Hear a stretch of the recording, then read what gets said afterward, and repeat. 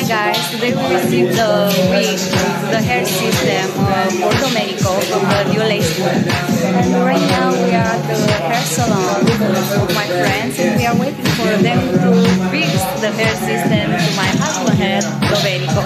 Domenico, say hi! Hi! Hi. See you later!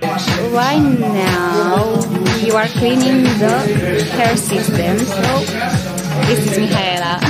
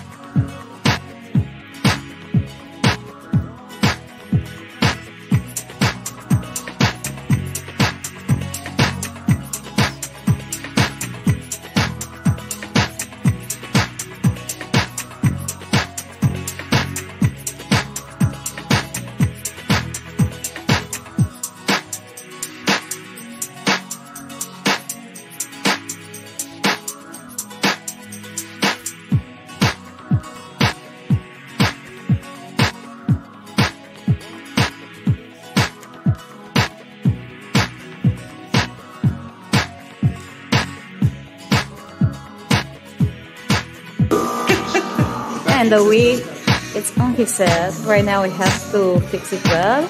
And then to make a cut